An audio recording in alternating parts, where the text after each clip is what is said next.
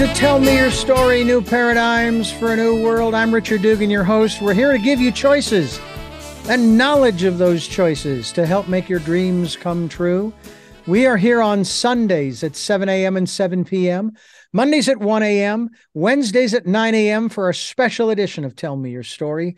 And uh, we are uh, also podcasting, or uh, I should say we're streaming live at those times. But yes, we are podcasting at uh, SoundCloud, iTunes, TuneIn Radio, Spotify, Stitcher, Player FM, Blubrry, Amazon Music, iHeartRadio, and many other locations. You can also watch these interviews on YouTube.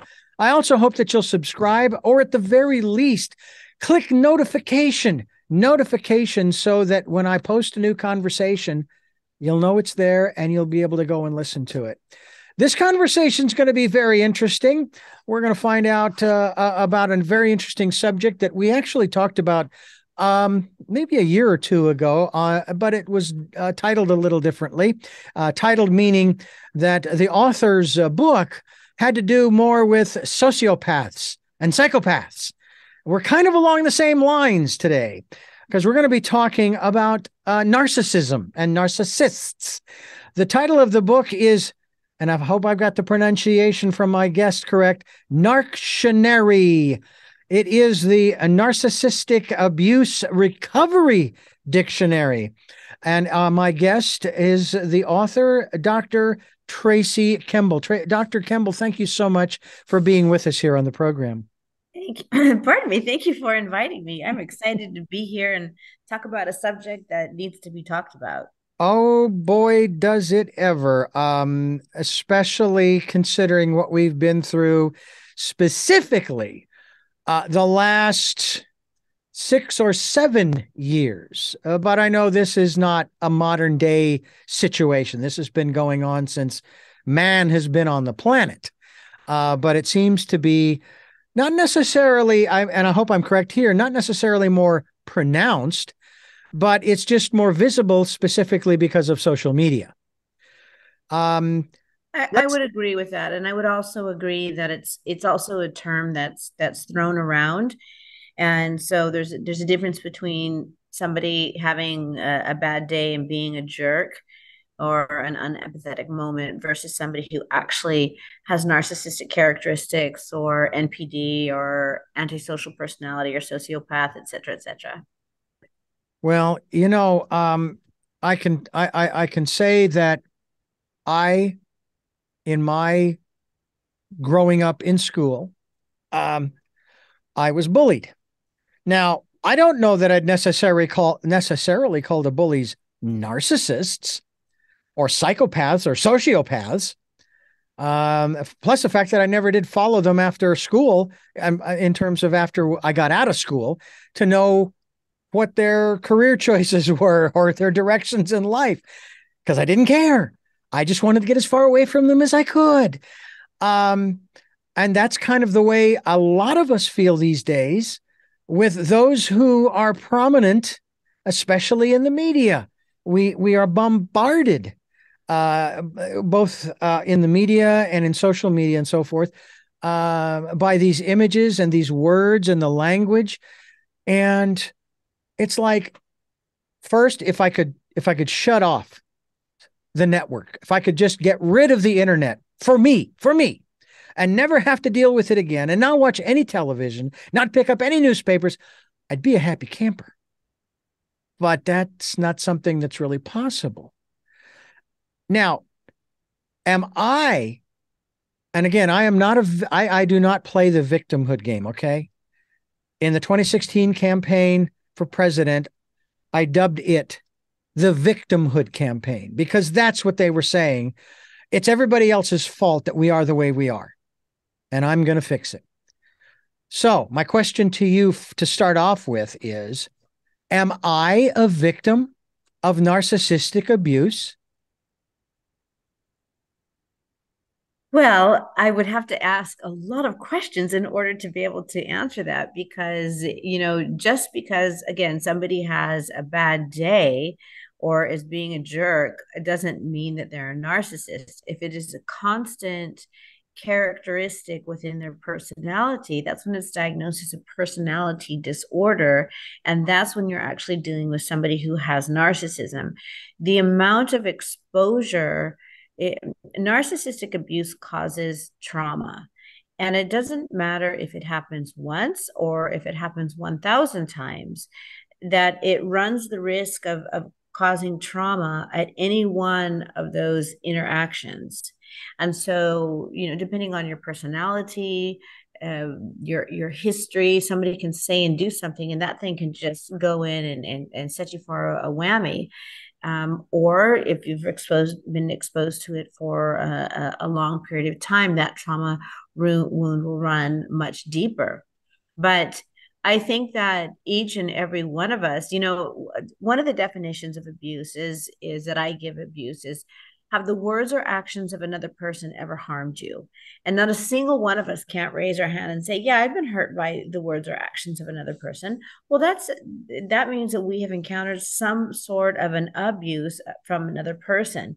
Does that make them abusive or does that make them um, having just a bad day or or a, a season of of not their shining brightest moment. It all depends on how long the the tendencies goes and how much a part of their natural character these actions and reactions are. But at the same time, wouldn't it all to say all blah, wouldn't it also say of that individual uh, by society maybe well, you're just weak. You just you know you need to toughen up. You need a man or woman up. Put your big boy big girl pants on you know uh, and i hear this often that uh, hey like in politics in particular that uh, ah, you know they they didn't mean what they said. They're just running for office and they say what they're going to say. And i say that's the whole point. See i say words have power. Words have power. People use the words that they use for a specific purpose which means they have power. Yes so agreed. that that tells me um, maybe on the one hand, uh, there's that old saying, you know it sticks and stones will break my bones, but words will never hurt me. I and don't I would, agree with it. I, I say I, sticks and stones can break your bones, and words can cause the final blows that will kill your self esteem. Wow. Yeah. Um, there's also another phrase that uh, I have also found is not true. And that is that you can't change other people. Actually, you can, but you can't do it intentionally. You do it by changing yourself, and then the people around you are either going to change or they're going to get as far away from you as they can. Yes. So, and I think it works negatively and positively. I okay. think that, you know, if we want to influence a person, inspire in the true essence of the word, mm-hmm. uh, another person into change, our energy and our behaviors can inspire them to change themselves. So I believe that we're all responsible for our own choice to change. And I do believe that that we can change.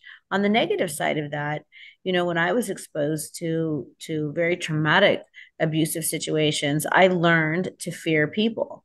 And I did change because I was the most trusting person in the world to, you know, to fault to the point that I learned to fear people based on my in- interactions with that person. Fast forward in my life, I've also learned not to fear people because of new information that that I've been given. So I think we're ever evolving beings, and we're, we are never we are never the same. And I don't agree that people can't change, and I don't agree that we can't uh, inspire people to become a better definition of themselves. Now, I find it interesting, and I'm going to bring up a particular part of our society that we have, uh, an institution specifically, um, and that is our uh, our penal, uh, penal. I almost said penal colonies. We don't have penal colonies. Um, you know the the prison system, all right, the mm-hmm. corrections institution, and it is there not only for people to serve their time, but hopefully hopefully to get some rehabilitation because if that wasn't possible then what's the point? We might as well just go ahead and be pro-life and execute everybody that goes to prison because they cannot be, be rehabilitated. But you and i are firm believers that people can change right? People can change. If they want to change people can change. It's it's the want. It's no different than the alcoholic. The alcoholic will stop drinking as soon as they realize that their behaviors are more painful than a life without without those behaviors that cause people to leave them. So other other non-drinkers can be around them and show them how possible it is to remain sober and as they get sober and become you know a, a, more compatible person to be with better versions of love will show up and then they can become inspired by you know new ways of looking at life and new ways of loving life but we all have to do our own work mm-hmm. we all have to do our own work I know that that is a, a, a big phrase that I started learning back in the 80s. Now I'm 63 years old now. I went through some personal growth and development programs like LifeSpring back in the early 80s. It was an offshoot mm-hmm. of EST. And that was absolutely one of the things that they enforced in us that we're not here to change you. You chose to be here. And that was another point they made too a lot of people would complain the very first night, I don't want to be here. This is uncomfortable and da da da da. So the facilitator basically said, those of you who are complaining, you're lying to yourself because if you didn't want to be here, you wouldn't be. But guess where you are? And so the changing process, the transformation began. Mm-hmm. When it comes to now, we are, are uh, let me let me back this up and ask you this are we talking of both about the narcissist and about the abused of the narcissist? Well, that's a really good question because what people don't understand is when any of us enter into a relationship, we are both doing something to make that relationship sustainable or non sustainable. So the question becomes what are the dynamics that make a, a narcissistic abusive relationship sustainable? Well, there are two environments that make a, a, narcissistic relationship sustainable a narcissist plus a narcissist and these people are literally just getting high off of the the attention that their partner gets and because narcissists don't see other people as other independent people they see them as an extension of themselves so if the people they love um, gets uh, attention, they see it that they're getting attention, right? So it's a narcissist plus a narcissist, or the other the other dynamic is a narcissist plus a self-deprecate. And so this is when the the bully and the victim enable each other to reinforcing the messages that are inside them and keeping the toxicity of the relationship alive. In an interview that I did regarding uh, sociopaths and psychopaths, the the author and guest of the on the program said that as bad as it might seem, uh, that a sociopath, sociopath or psychopath, or even a narcissist, because we did use that word, no matter how bad they might seem, we can still learn from them. And his point was, though the the ends do not justify the means, they get things done. Well, sometimes they do at least they want to they want it to appear as though they get things done when in fact maybe they don't but nonetheless uh, they said yeah we can learn something from them do you believe that we can learn something as opposed to finding ways of protecting ourselves actually there are there traits within the narcissistic behavior that we could look at and glean little bits and pieces and shards from that hologram I think I mean absolutely because you know there's there's a very famous saying it says we can even learn from a fool. And so, you know, it, if we are the students of life, we can always learn. How many people listening to this have been exposed to an awful situation and say, I will never treat another person that way? Well, we learned that from, you know, somebody who mistreated us or mistreated somebody that we love. Uh, on the flip side of that, you know, that it, this is a big i'm running a workshop and it's called so your boss slash coworker is a narcissist and uh, you know the thing about the narcissistic personality is that uh, and i'm not talking sociopath or psychopath okay, okay. and we're, we're talking very dangerous people that i believe we need to stay away from because they they literally don't care if they harm another human being where lacking empathy is different than not caring if you harm another human a human being, but that's a whole deep subject that we won't go into right this mm. second. But that being said, that many many narcissists, many many traits of what narcissists do when they're implementing jobs and executing events can come across very narcissistic.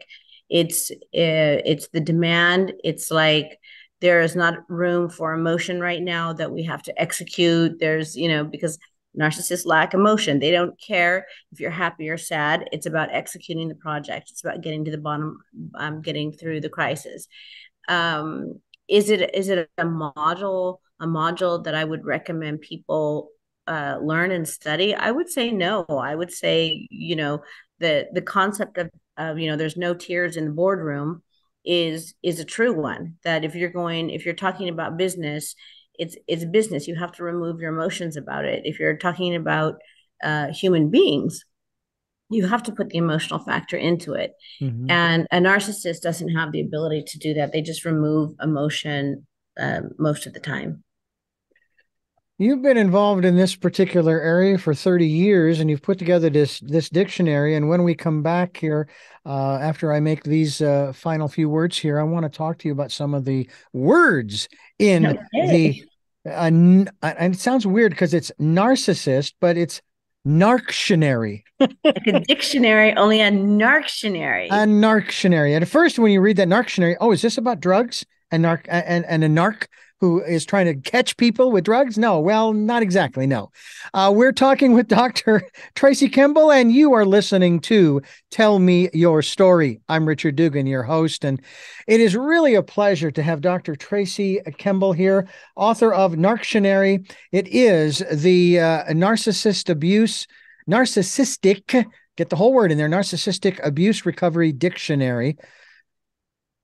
I have a funny, suspicious feeling this is probably not going to become an audible, although it would be kind of interesting to read, to say the very least.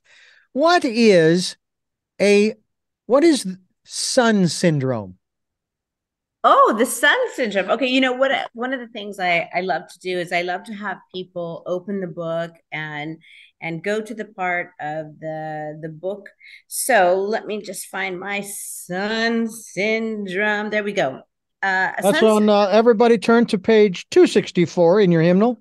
yeah, uh, let me just read it because uh, sure. just to get it right. So, a sun syndrome, uh, the category is that it is an abuse technique, and I I categorize each word with something that lets it know: is it a recovery word? Is it abuse abusive word? Is it a trauma? Um, so it's a, sorry, it's a trauma. It's a trauma response, and the sun syndrome is where both the narcissist and the victim believe that everyone in the environment is supposed to revolve around the environment, around the narcissist. So what this is is just like you know, it we, we circle, right? Mm-hmm. In our atmosphere, we circle. Yep. The narcissist believes that all roads lead back to them that the only thoughts in the house need to be their thoughts that everybody takes on that the that um, the only praise in the house unless it's deemed given permission to other people it all needs to uh, go back. And it's it's a family training system where rather than um, let's say it's a parent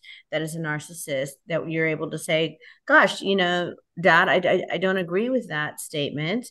And here's why and then there could be a teaching moment or an expansive moment. That type of stuff is forbidden in the house because it will cause a narcissistic episode. So it's this brainwashing that people learn at um, in within a family unit or a cult situation. It could also happen in in work environments and church environments where it's like don't book the the almighty one and you know because if there's t- if you do there's ramifications.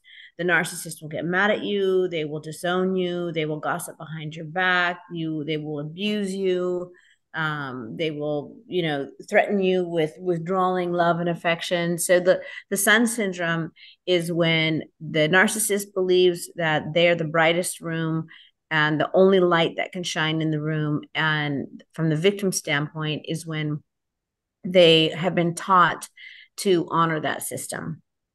Hmm. Interesting. Well, um, let's take. Oh, and by the way, when you started to describe it, the first phrase that came to my mind, this is a phrase from the narcissist.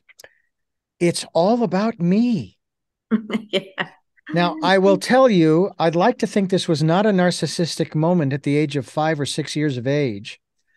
But I remember be, uh, being outside and playing, and all of a sudden, this thought came to my mind. Do you remember the uh, the the movie uh, Men in Black and the scene in the operating room where they had this giant alien, and they cracked open the head, and inside was this tiny little critter, right? Who was basically running the show. He was manipulating the body and making it move and everything, right? Well, as a five year old, I didn't think I was an alien inside, but I was a tiny little thing inside the body, inside the head, looking out the eyes, listening out the ears, speaking, and so forth. And that everybody else was here for me. Now, I don't think a five year old even knows or has had enough experience to be narcissistic even though well, children children kind of are but that's that's a different that's a different kind of narcissism isn't it it is a different type of narcissism. It is that you know the the brain is still developing and and children are in a survival mode that if they don't have their parents they they will die and so therefore i would say if i see it in, in a five year old that is still part of the developmental process that you know around what three four years old the favorite word of a child is me me me me me me me.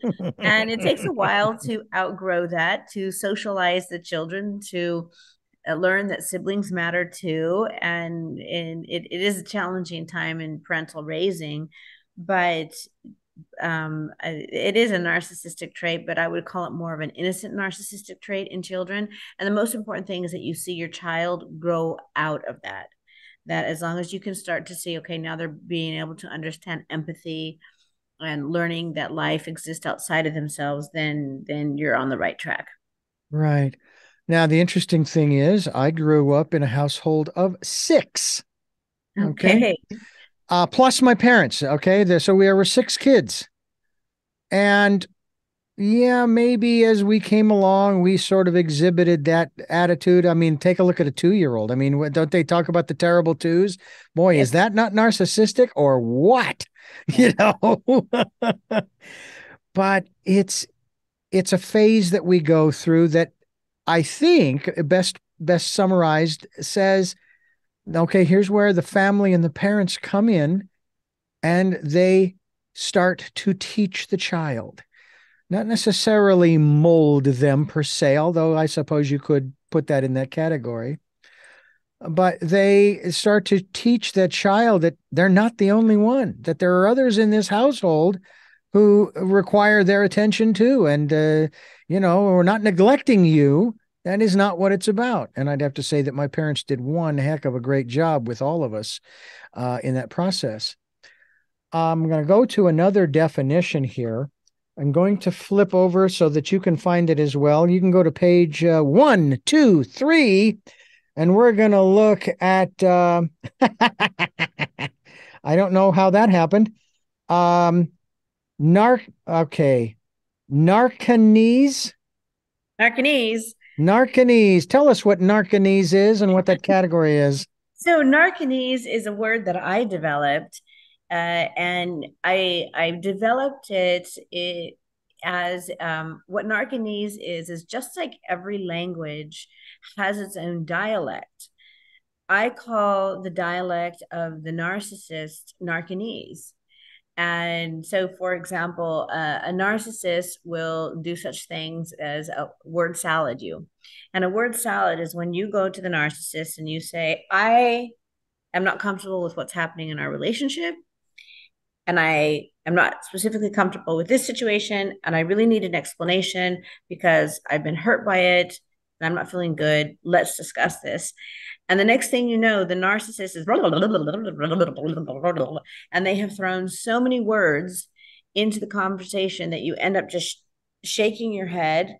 Sometimes they blame shift. You're on the other side of it and suddenly apologizing for something you did when you're trying to address the violation that was done to you. And it's a technique called word salad. And what I realized uh, on my recovery journey is that there's a whole set of words and terms that exists just within the narcissistic relationship that we needed to start uh, putting them into vocabulary form and rather than sit there with that brain fog saying, I don't understand what happens, we're able to say, okay, stop word salading me and answer the dang question. so that's that's what narcanese is. It's the official, what is the the the definition that I have is the official language of the narcissist that includes both spoken word, unspoken and written word, as well as behavior and tactics that the narcissist uses while in an episode to try to dupe, gain control or fuel source off of others. And by the way, if you are, let's just say you are living or working with a narcissist and they're throwing narcanese at you, then you are actually living in the country of Narcanesia.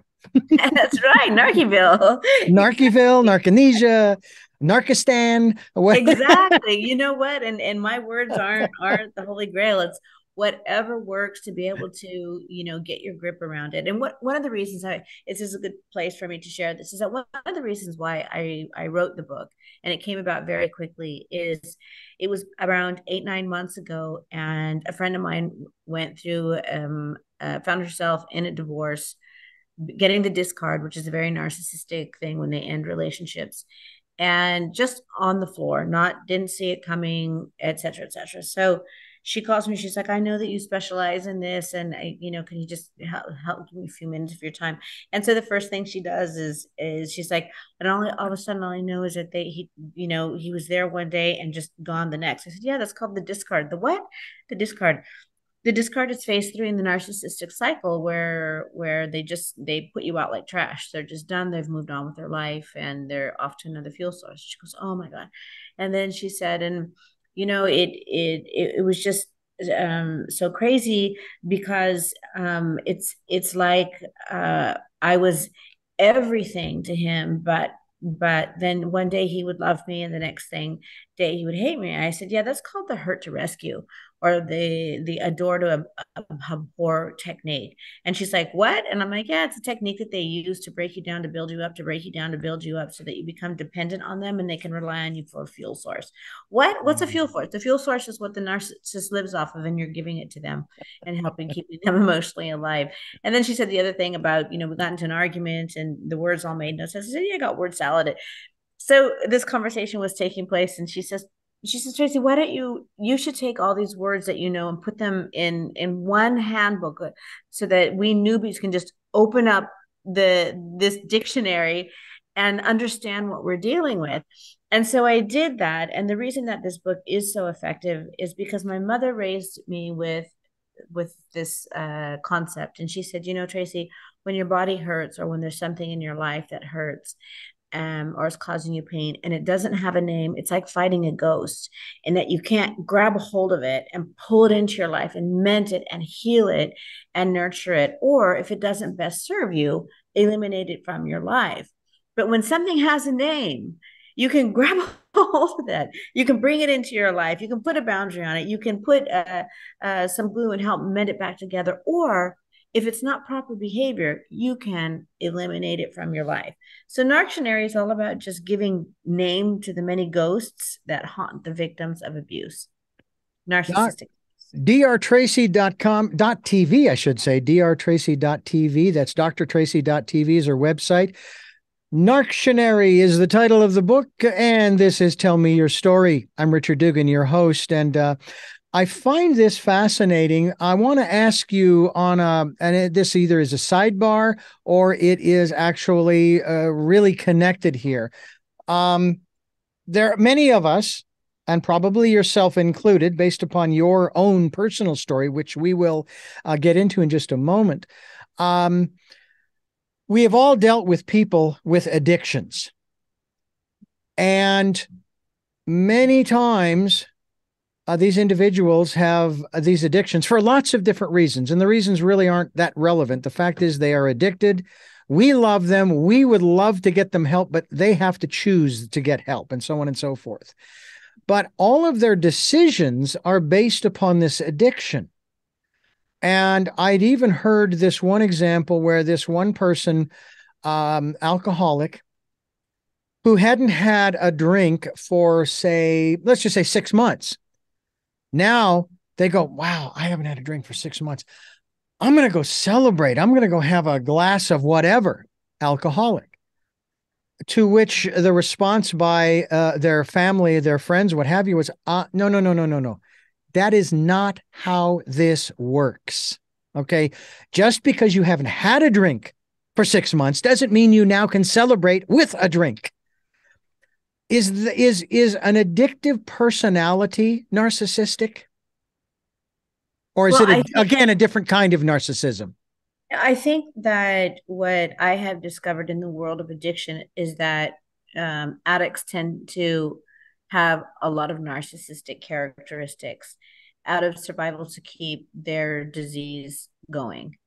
Uh, when they come out, if that person is able to, in their sober state of mind, become a truth teller, uh, realize how their choices affect other people which is all part of the aa process of you know taking that accountability taking that inventory who have i hurt by my actions? How do i best apologize and make amends for that actions? How do i not do those actions anymore? Those are all very non-narcissistic responses in life.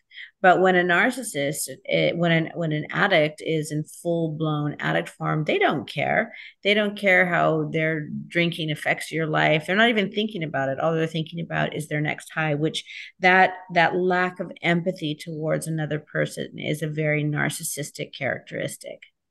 Hmm. You know, um, this is very interesting because I had to come up with a plan for myself, and then I want to talk about some of your plans as well as your your specific story that has brought you here to us today. But I came up with this sequence of, of steps, and it was the only way that I could escape for myself, for myself. Um, this this I don't want to say narcissistic abuse, but at least from an intellectual level, um, the the the barrage of narcissistic phrasing and terminology and lying and this and that and the other. And the first step was absolutely, and usually the first step is the hardest.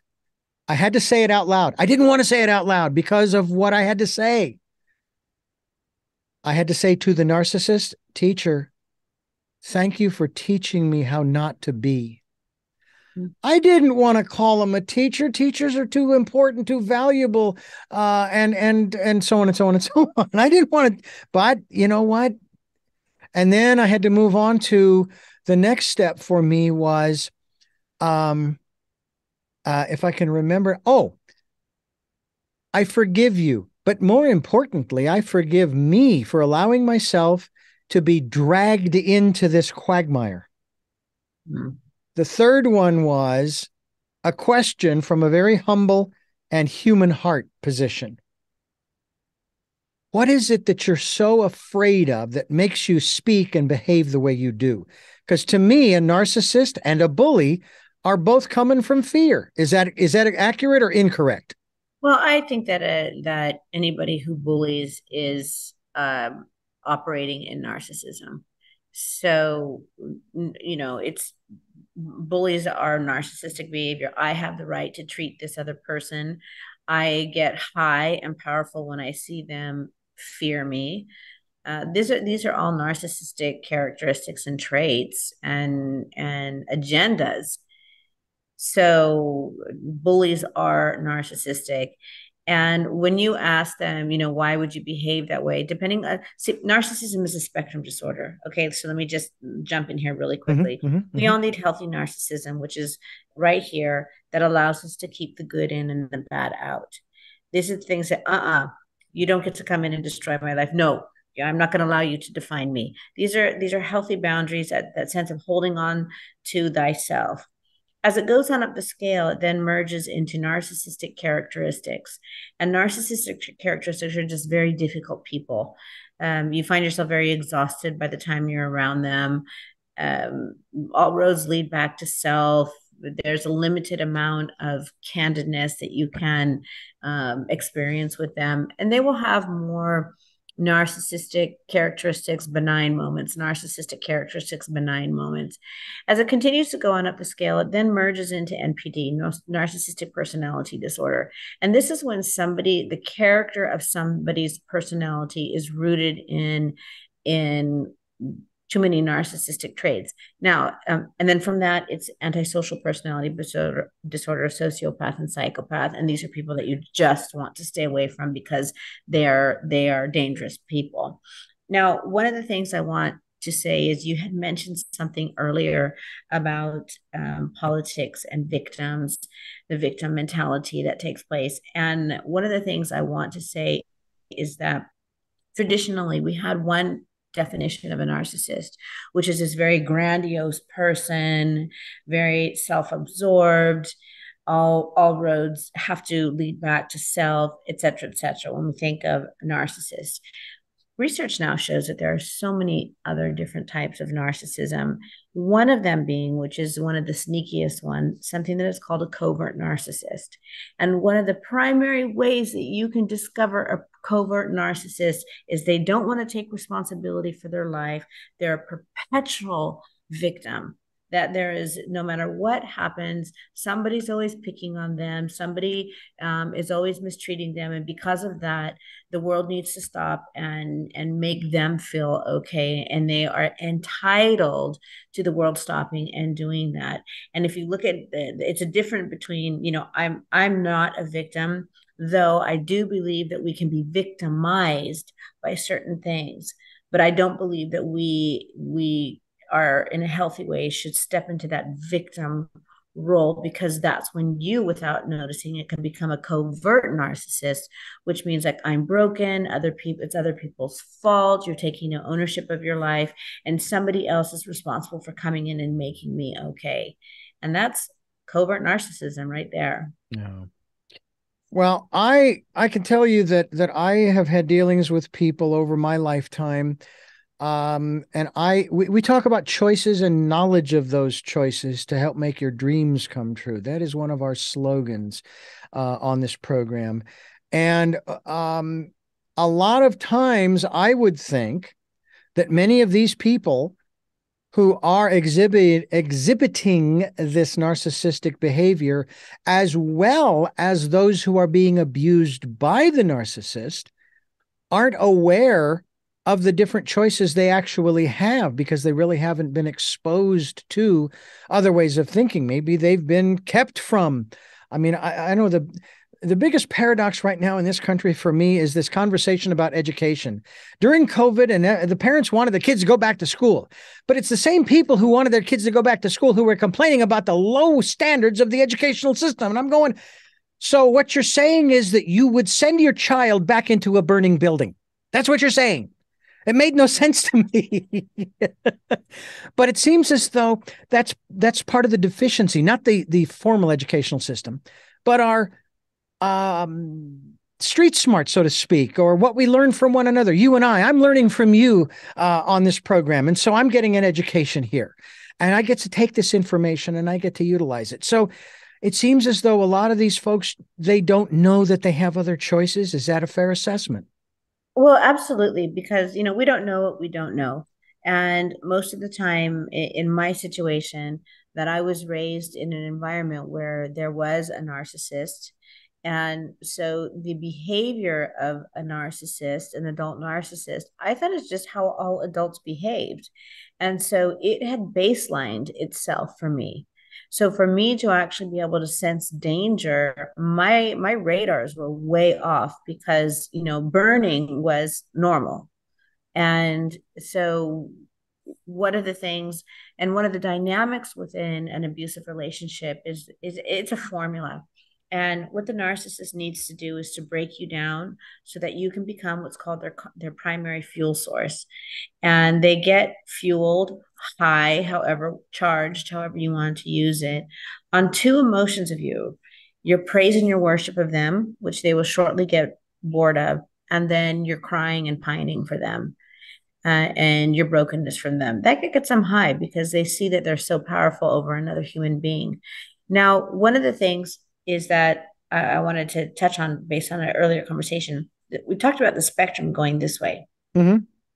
One day in my recovery journey, I began, I asked a question. I'm like, well, what's over here? And what research is now showing is over here is a condition called self love de- deficiency disorder.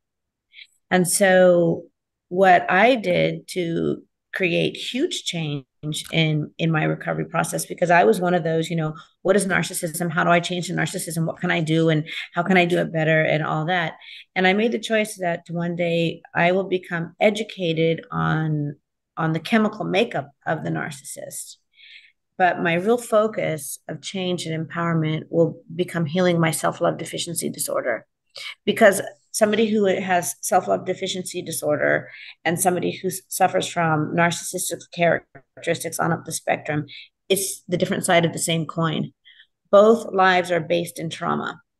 Only the result of that trauma manifested itself in two different personalities in two different ways but this is why they they can easily stay together because it, it's it's the polar opposite of the same trauma cord so when you begin to heal the way I handle healing, and I have a, a one year recovery program called Reclaiming Me, is we focus on the journey to self love. Because when you raise that foundation underneath you and you build a steely foundation of self love underneath you, you vib- vi- vibrationally just begin to align in a different level than the narcissist. And all the things that you used to tolerate, they just become intolerable because your definition of, of self value has changed, your definition of what you want in a relationship has changed, the definition of, of self honor has changed, and these are all the things that that keep you on the recovery journey. And you don't even have to focus on the narcissist; you just have to become aware, which is in the book, of what they're doing, so that when they do it, you're able to say, "No, that's narcissism. That has a name, and I, I don't." I don't love like that anymore and I have lots of mantras in my program. And going back to what you just said, my one of my mantras is especially during in my recovery i am more powerful than i remember. I am more powerful than i remember. I am more powerful than i remember. You know this i want to talk more about this uh, aspect of self-love with you dr tracy kemble as we continue here on tell me your story Great. I love it. One second, one second here. I'm Richard Dugan, your host, and I thank you so much for being with us here with Tracy Kemble, Dr. Tracy Kemble. And we're talking about Narctionary, that is the dictionary of uh, narcissistic abuse recovery. And uh, we are uh, talking about this. And by the way, the website, once again, is Dr. Tracy dot TV. That's D R T R acy.tv. We hope that you'll go there. We will be linked to that website as well, uh, uh, Doctor, uh, so people can uh, find out more about you, get a copy of the book, et cetera, et cetera. Um, I want to talk to you um, if I about this aspect of self love because there is, I would venture, there is a part of narcissism that is just that. It is self love. Um, but at the same time, for example, I just got an email that started out and and it sounds really it sounds great. I mean, you know, it's really cool. It says, um, stop acting so small. You are the universe in uh, uh in uh, uh, aesthetic motion. I don't know what aesthetic motion is, but and, and I'm getting these different emails. Just you know, it's like they're trying to pump me up, and I'm going, okay, but you know what? I'm happy with where I'm at and I'm content and so forth. So I'm I'm thinking we need to maybe define for those who are looking for recovery, and that's what we're looking at here right now at this moment. How do you make sure you don't cross the line from self love to narcissism, to self centered love. Yeah, well, there's a there's a very very big difference between. Um, uh, I get asked I get asked a handful of questions. I'll go through them. Tracy, isn't self love a form of narcissism? No, self love is self love. It's the honor and the understanding of one's self and value. It's the conscious relationship that we have with ourself narcissists don't self love. They, believe it or not, they self loathe. What they do have is self lover, where I will love and value myself. They have this like infatuation in love with themselves. It's a very shallow uh, form of love. So uh, that that's the very big difference. The second question I get asked a lot is if I step into this journey of self love, and I was guilty of this, am I going to turn out like the narcissist? Because the last thing that I want in my life is to end up like the person who destroyed my life. Mm. And the the answer that I have to that is that question right there means you're not narcissistic because a narcissist would never ask that question. they don't care um, how their life affects other people. They don't have the ability to look inside their inner terrain. And does the pendulum swing? Yes, it does. If you go from somebody who doesn't have a boundary and is learning how to set a boundary and it comes across a bit rough and tough, this is just the pendulum trying to find its balance. And if you stay in your recovery journey, you're you will, you know, you will learn your own, you know, you will learn if you're being a covert narcissist and and learn to make changes, but it's a matter of really understanding there's a big difference between operating in a foundation of self love, being a narcissistic self lover. Mm. Well, I know that as I was my as I personally was going through a few things in my life over the last few years, um, I was always counseled by my I call it my network. All right, and I'm very lucky to have established that network in my life. I was counseled, Richard, you can do all of these other things, but make sure you take care of you.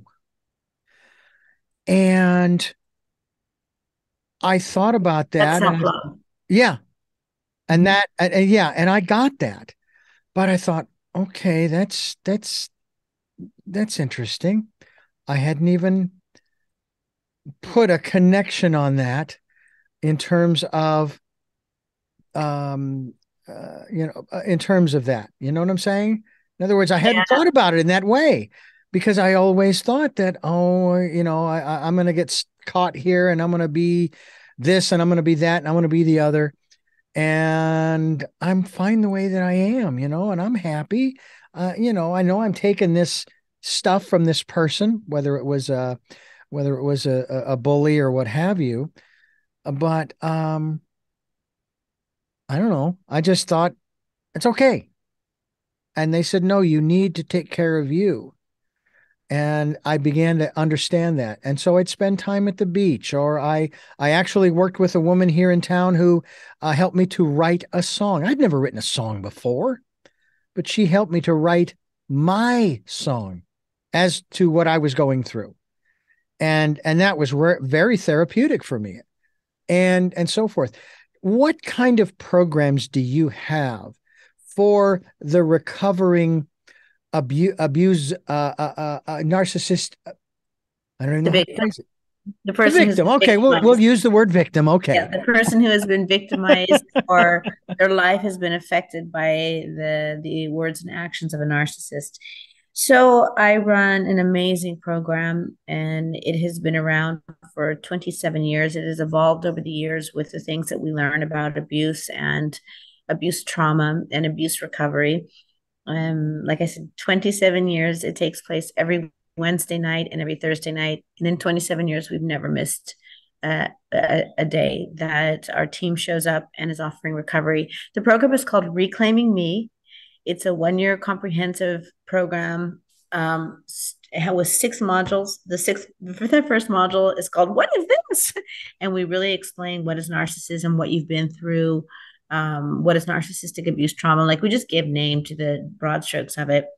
The second module is called "What Happened to Me," and this is a module that in studying the behaviors of the narcissist, I've identified 13 different techniques that they do to fuel source other people and what happens to you when you are on the receiving end of that. Um, the third module is called Love and the Narcissist, and this is breaking all the soul ties, the trauma, the trauma bonds, the love addiction, the codependency, the spiritual bonds, everything that keeps us tethered uh, to that polar opposite condition that we're dealing with. The next um, um, class after that, there's a very specific trauma wound that happens to people who go through narcissistic abuse. Yeah, many people get treated for PTSD, but that is not what they suffer from. A narcissistic abuse victim suffers from something called CPTSD. And there is a very specific methodology of healing in order to be able to un, um, unleash those, those deeply uh, settled trauma wounds. Then the next uh, module after that is called when no contact is not an option. Because in the world of narcissistic recovery, they say just leave, just leave and never contact that person again. And in some cases, that's not possible if it is a parent, if it is a, a the, the parent of your child, if it's somebody that you work with, et cetera, et cetera. So we really need to learn how to hold on to ourselves if we have to continue to encounter certain narcissists. And then the last module is all about um, love, love and life after narcissism, how we can learn to grow and learn to love in new ways and not build altars to the abuse and learn from what we've been through, but become uh, a better version of self. Mm. Very interesting. And it's very important because I noticed even in my own life that it's um I tell you, when you don't take care of yourself, you get weaker and you get weaker and you get weaker. And then you start to become self destructive, don't you? I mean, it's by virtue of not taking care of yourself, you are, in essence, kind of whittling away at your own physical, mental, emotional, and spiritual health. Well, let me give you for any of our listeners who are saying, you know, if I take care of myself, isn't that being completely selfish? And especially women feel this way that we need to put everyone first in our life. And one of the things that I learned on my self love journey, and I'm, I'm working on a book called The Journey to Self Love right now, is is that when I struggle with that, am I being too selfish? Am I only thinking about myself? What I realized is that if I don't live out the life that Tracy Kemble needs to live out. So, when we begin this journey to recovery, and is I've, there there is there is uh there is no real end. I mean, it this is going to be for life in a matter in a matter of speaking, but there does come a it's like you, you are going to be going up and up and up and up working on your recovery but eventually you'll kind of maybe level out a little bit but it will always be you'll always be in recovery kind of like the alcoholic. Even if they go through recovery and they've been sober for 35 years in a manner of speaking they're still in recovery right yeah, it depends on the person and and the division the the their road to recovery. Some alcoholics need to remind themselves every day that they're alcoholics to stay sober, and some need to move beyond the definition of alcoholism, um, and they want to stay sober because being sober is just a much better way of life for them. So to me, it's whatever it takes. When it comes to to to narcissistic abuse recovery, you definitely have to put yourself in a very protective environment for quite some time because strictly alone the brain channels in your in your in, the, in your brain the electrical channels in your brain they will default into certain actions and reactions. And you have to go through and retrain yourself on how to respond to life differently and in more nurturing self-protective ways. Wow and, and there's a part of me I know that I ask, I used to ask this question years ago when I first started doing these kinds of interviews. Uh, so how long is this going to take? And I know better than that now. Is there's no clock on it. There is no stopwatch on it. It takes as long as it takes, right? It takes well, yes, because you know part of the process is the grieving process, and there's no time clock on the grieving process. But when I get asked that question, and I've asked that question myself, you know, how long is this going to take? When is change going to happen? And the best piece of advice that I was given was when you really want it to. You know how quickly change can happen like that. It's the second that you say, you know what, done, done, done, done, done. I am mm. done. I am not engaging in this for one more second. I I refuse to be this definition of myself. And it's the intolerance of of your today that creates your tomorrow. Yeah. And so you can completely change. Now, you have to learn how to become that new person that change can happen like that but you have to become a student of of what it means to be a different person than that when you are and i was just working with a client a couple of weeks ago and i said you know the the thing about reaching dysfunctional choices, places in our life, is that we walked for a certain amount of time deep into the desert. And the day that you had your awakening and you woke up and all of a sudden you're like, oh my God, I'm in the middle of the desert, you have a choice. You, you can keep walking into the desert and become more dysfunctional, more disconnected from the mainstream of life. You can stay where you are and be a victim and wait for somebody to come rescue you. Or you can turn around and start start walking out of the, the desert back to the mainstream of life. And the question was, well, how long is it going to take before I hit the mainstream of life? And I said, depends on how fast you want to walk or run or fly. Me, when I made that choice, I couldn't get out of the desert fast enough. And I woke up every day with the most important thing in my life is getting myself well and getting back into the mainstream of life. So, you know, it's it, we are more powerful than we remember. Used to be one of the questions I would ask my guests at the end of the program. How powerful are we? And uh, we are we are amazing, amazing beings. What about uh, a a spiritual component to this? We talk about uh, people participating in the decade of perfect vision, where we want them to spend time going within to that quiet, still, calm, peaceful place, and listening to that still, small voice. Now, this has absolutely nothing to do with any philosophy per se, any religion uh, or institution because we've been hearing that voice since we arrived on the planet. It's whether or not we respond to and follow, as I say, the promptings. Talk to us about that component in recovery. Well, uh, you know, one of my gifts is I get these amazing downloads. I I live my life by a spiritual philosophy that is called divine order. And divine order says the perfect solution for my life is already in place as long as I align myself with it. So I am responsible for keeping uh, my heart in joy, my my physical, emotional, psychological being safe, um, believing in the good of life. You know, all, all, the all the practices that have taken me years to to get to. But I, I think that it is the primary part of recovery. There are actually in my recovery classes in we spend one segment of the of the recovery process to say you can do um, and say you can do your physical work you do your mental work you do your emotional work but to really recover and to change you got to do your spiritual work too. You have to rely on that that bigger source within you where all the wisdom of the word of the world rests if we open ourselves up to that knowledge. It's there.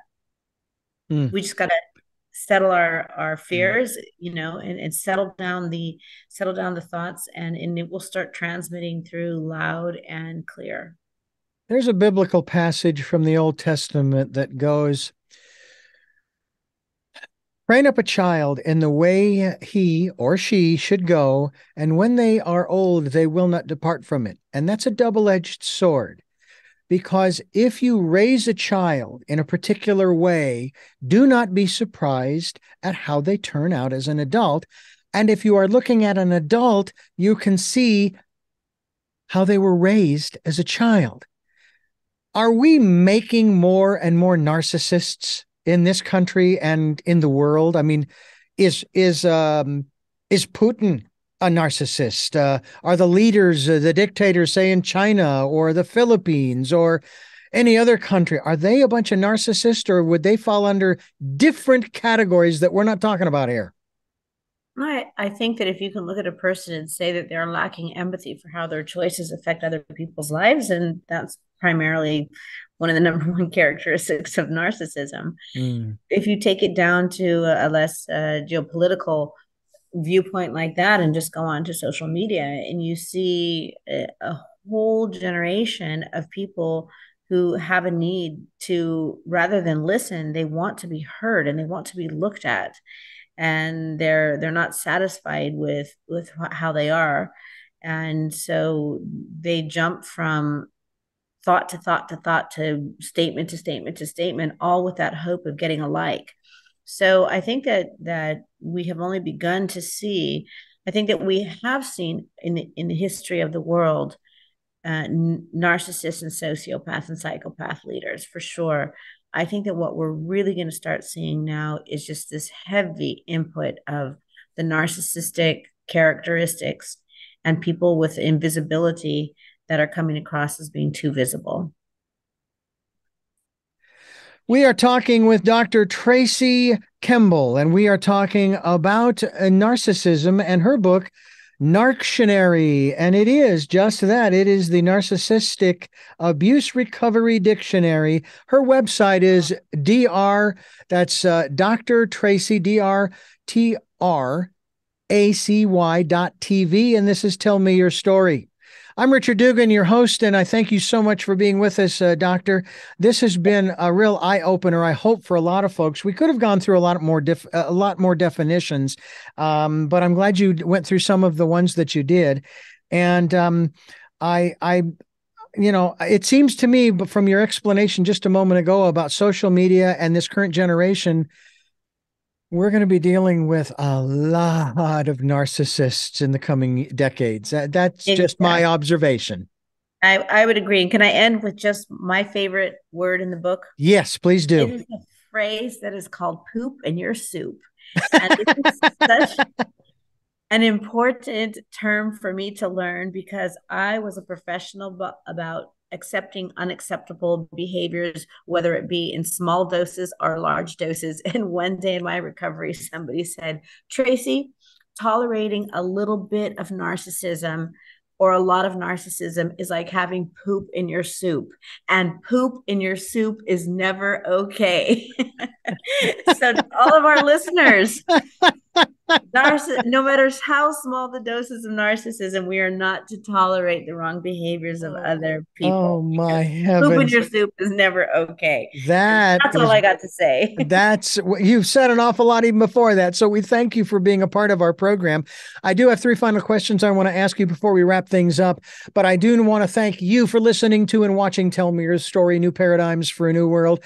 We are giving you choices. Boy, we've given you a lot of choices and knowledge of those choices choices as well um, to help make your dreams come true. We're here Sundays at 7 a.m. and 7 p.m., Monday mornings at 1 a.m., and Wednesdays at 9 a.m. for our special edition of Tell Me Your Story. We uh, stream live at those times at richarddugan.com. We uh, also podcast on SoundCloud, iTunes, TuneIn Radio, Spotify, Stitcher Player FM, Blubrry, iHeartRadio, Amazon Music and many other locations. We're also on YouTube where you can watch these interviews. We hope that you will. And if you can't subscribe or you don't want to subscribe, maybe you can at least click the notification so that when I post a new conversation, you'll be able to listen to it. We also ask that if you can support the work that we are doing, uh, we would really appreciate it. Every penny goes towards uh, every element that we have, including the cost of SoundCloud and some of the other work that is done. Uh, but uh, we have PayPal, it's there for your security as well as ours. All you have to do is type in richard at richarddugan.com when they ask you for the email address to whom to send the uh, contribution. And we thank you, thank you, thank you for those who have and those who will. And also, as I mentioned earlier, please spend some time going within and listening to that still small voice in that quiet, calm, peaceful place we call your inner life. Some call it an inner closet. Uh, we can call it whatever you want. Just take some time. And maybe even while you're doing that, do it out in nature. If you're in the city, then find a park somewhere. Boy, I tell you what, I'd love to find Central Park, but I'm living in heck, a heck of a park as it is, uh, uh, uh Dr. Tracy, uh, as it is up in nature above Santa Barbara, where um, uh, we're we're in a great place. So we encourage you to do that. Hope you will.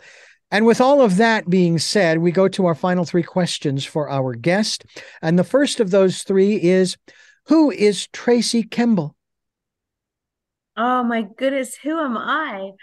Let me see. I am somebody who learned the most valuable lesson in my life, which is the journey to self love.